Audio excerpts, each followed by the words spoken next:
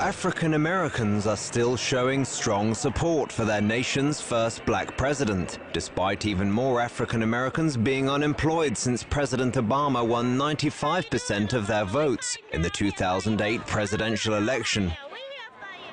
Since then, unemployment within the black community has soared to 14.3%, and household income is down 11% over the previous three years. Despite this, many remain supportive of the incumbent president.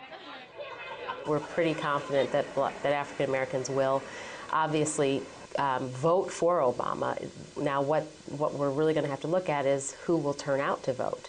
Um, in the 2008 election, um, African American voter turnout was unprecedented, as we all know at this point. And so, will those people turn out again? Despite the ongoing slump in the economy, most black Americans are still fervent Obama supporters. I'm voting for President Barack Obama. And why is that? Because President Barack Obama is making some changes. I feel like with the Obamas being in office for this next election, I think things will change and better for America regardless.